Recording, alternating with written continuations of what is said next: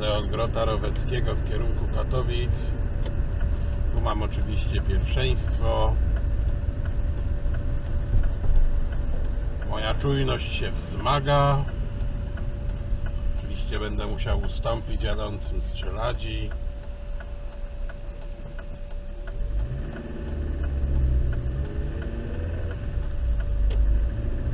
No i udało się. Przejechałem przy wyłączonej sygnalizacji bezproblemowo i żyję.